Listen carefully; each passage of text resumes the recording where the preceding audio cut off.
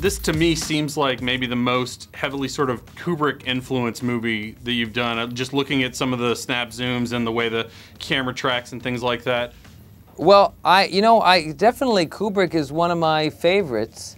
Um, I don't usually look. You know, usually by the time I'm making a movie, I don't really know where I'm stealing everything from.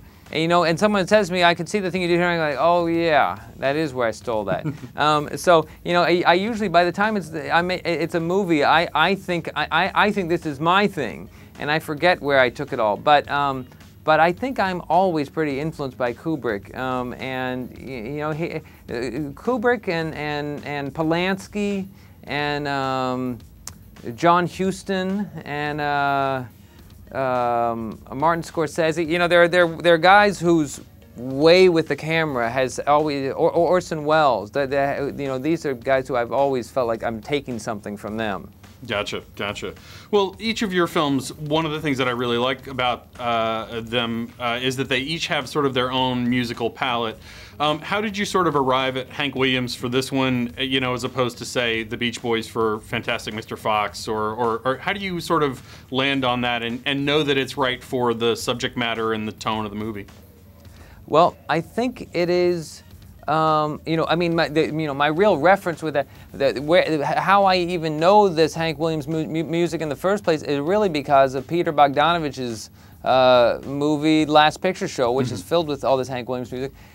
So, you know, m- much of the music in the movie I had planned, but I figured it out what before finishing the script.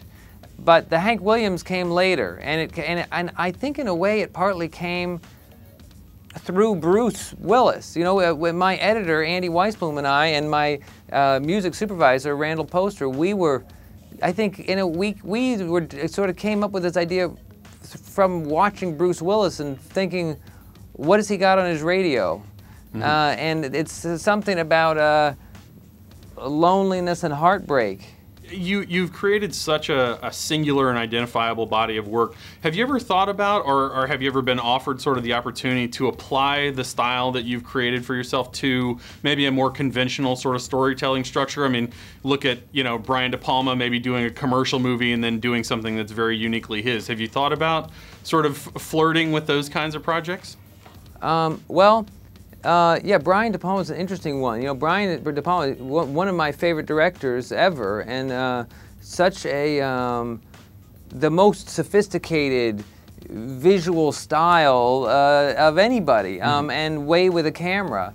Um, uh, but um, I think, in a way, you know, Br- Br- Brian De Palma is somebody who who uh, who can take a giant complicated action sequence and say, I know precisely how to execute this, uh, and, and he can do it in a way that is completely his, and yet is highly effective as a you know suspense and as you know understanding the the, the space and how this action is occurring, and you know.